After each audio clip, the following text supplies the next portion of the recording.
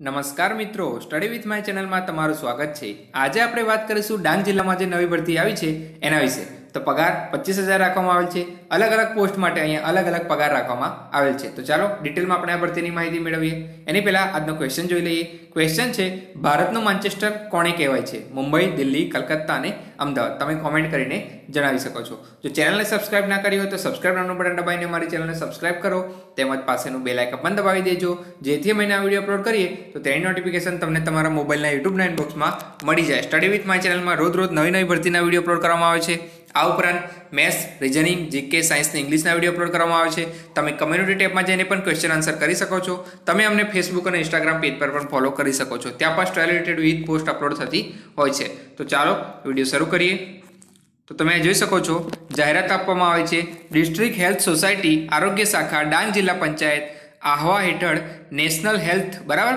RCH, NHM programme અંતર્ગત અગિયાર માસ માટે કરાર આધારિત તદ્દન હંગામી ધોરણે નીચે મુજબના જુદા જુદા સંવર્ગોની ખાલી જગ્યાઓ તથા ત્યારબાદ ખાલી પડતી જગ્યાઓ મેરિટ આધારે ભરવા માટે તારીખ આપવામાં આવી છે એકવીસ નવ બે હજાર વીસ, બરાબર? સોમવારના સાંજે પાંચ વાગ્યા સુધીમાં શૈક્ષણિક લાયકાત ધરાવતા ઉમેદવારો પાસે સંપૂર્ણ બાયોડેટા સહિત તમામ સર્ટિફિકેટની પ્રમાણિત કરેલી નકલ તથા પાસપોર્ટ સાઇઝના ફોટા સાથે ઉમેદવારે રજિસ્ટર, બરાબર, અરજી રજિસ્ટર પોસ્ટ એડીથી કવર ઉપર જગ્યાનું નામ લખી મોકલી આપવાનું રહેશે. એકવીસ નવ બે હજાર વીસ લાસ્ટ ડેટ છે. સાંજના પાંચ વાગ્યા સુધી તમે એપ્લાય કરી શકો છો. તમારે અરજી જે છે એ રજિસ્ટર પોસ્ટ એડીથી મોકલવાની છે. દરેક પોસ્ટ માટે અલગ અલગ અરજી કરવાની રહેશે, બરાબર? એક કરતાં વધારે જગ્યા માટે પણ તમે એપ્લાય કરી શકો છો. દરેક પોસ્ટ માટે અલગ અલગ અરજી કરવાની રહેશે. સમય મર્યાદા બાદ આવેલ અરજી માન્ય ગણાશે નહીં. અને અગત્યનો પોઈન્ટ છે કે ડાંગ જિલ્લાના સ્થાનિક ઉમેદવારોને પસંદગીમાં અગ્રિમતા આપવામાં આવશે. એના માટે એમને રહેઠાણનો પુરાવો રજૂ કરવો પડશે. હવે જગ્યાનું નામ છે, પહેલું છે આયુષ તબીબ, એનએચએમ, પ્રાથમિક આરોગ્ય કેન્દ્ર ખાતે માસિક ફિક્સ મહેનતાણું પચીસ હજાર આપવામાં આવશે. સંખ્યાની વાત કરીએ તો એક રાખવામાં આવેલ છે. હવે લાયકાતની વાત કરીએ તો ઇન્ડિયન સિટીઝન હોવા જોઈએ, બરાબર? પછી જે શૈક્ષણિક લાયકાત છે એ છે બીએએમએસ અથવા તો બીએચએમએસ કરેલું હોવું જોઈએ. પછી છે વેલિડ રજિસ્ટ્રેશન કરેલું હોવું જોઈએ. પછી છે, ગુજરાતી, હિન્દી ને ઇંગ્લિશ ભાષા આવડતી હોવી જોઈએ. લોકલ એરિયામાં કામ કરવાનું છે રૂરલ એરિયામાં મતલબ કે ગુજરાતી લેંગ્વેજ અહીંયા કમ્પલસરી રાખવામાં આવેલી છે. અને વયમર્યાદાની વાત કરીએ તો અઢારથી ચાલીસ રાખવામાં આવેલી છે. પછી બીજી જે પોસ્ટ એ છે આયુષ તબીબ.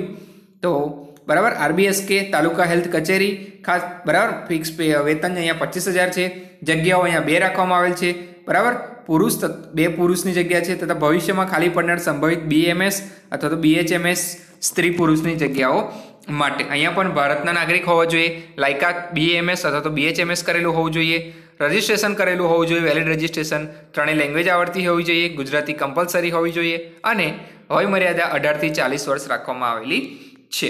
પછી છે ફિમેલ હેલ્થ વર્કર બરાબર? Female health worker RBSK taluka health કચેરી માસિક મહેનતાણું અહીંયા બાર હજાર પાંચસો આપવામાં આવશે.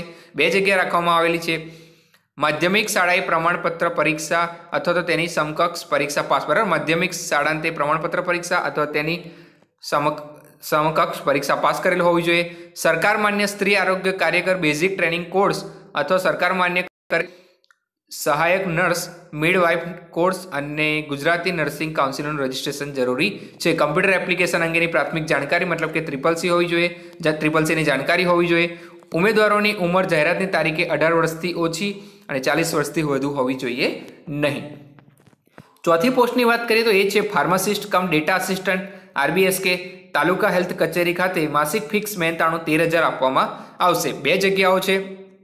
એમાં પણ વાત કરીએ તો કેન્ડિડેટ મસ્ટ પઝેસ બરાબર? Candidate must possess bachelor of pharmacy B Pharm તમે કરેલું હોવું જોઈએ, બરાબર? વેલિડ રજિસ્ટ્રેશન કરેલું હોવું જોઈએ, ગુજરાતી, હિન્દી ને ઇંગ્લિશ આવડતું હોવું જોઈએ. પછી છે કમ્પ્યુટર લિટરેચી અને ડોક્યુમેન્ટેશન બરાબર?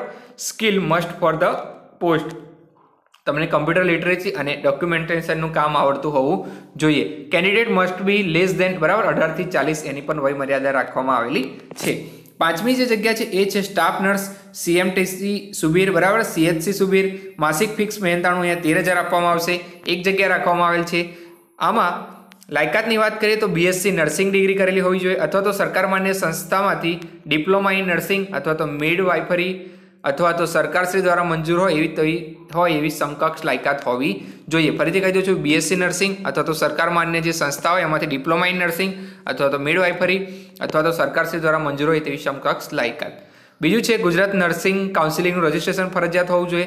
કમ્પ્યુટર એપ્લિકેશન અંગેની પાયાની જાણકારી, મતલબ કે ટ્રિપલ સી હવાઈ મર્યાદા અહીંયા અઢારથી ચાલીસ રાખવામાં આવેલી છે. છઠ્ઠા નંબરની પોસ્ટ છે એ છે laboratory technician IDSP general hospital Ahwa ખાતે માસિક ફિક્સ વેતન તેર હજાર આપવામાં આવશે. બે જગ્યા છે.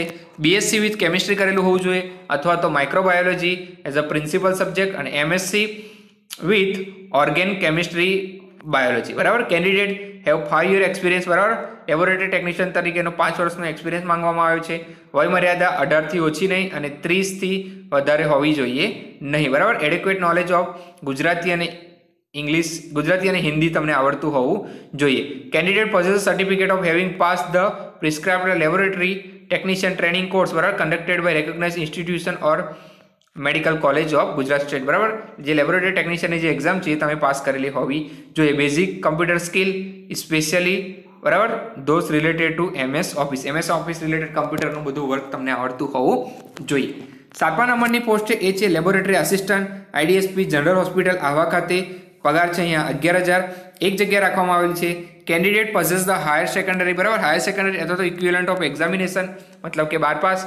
Candidate pass the laboratory technician training course તમારે કરેલો હોવો જોઈએ.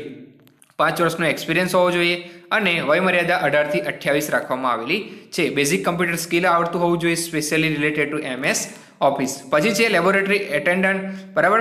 આઈડીએસપી, જનરલ હોસ્પિટલ, આવા ખાતે પગાર નવ હજાર આપવામાં આવશે. એક જગ્યા છે, સાત પાસ અહીંયા માંગવામાં આવ્યું છે. પરંતુ એનિમલ હાઉસ અથવા તો લેબોરેટરી ફિલ્ડની કામગીરીનો અનુભવ જરૂરી છે. સાત પાસ છે, પરંતુ એનિમલ હાઉસ અથવા તો લેબોરેટરી ફિલ્ડની કામગીરીનો અનુભવ જરૂરી છે. હોસ્પિટલ કે અન્ય સંસ્થામાં કામ કર્યાનો ત્રણ વર્ષનો અનુભવ ધરાવતા હોવા જોઈએ. અરજી કરેલ ઉમેદવારની ઉંમરની જાણકારી તારીખે અઢાર વર્ષથી ઓછી અને પચીસથી વધુ હોવી જોઈએ નહીં.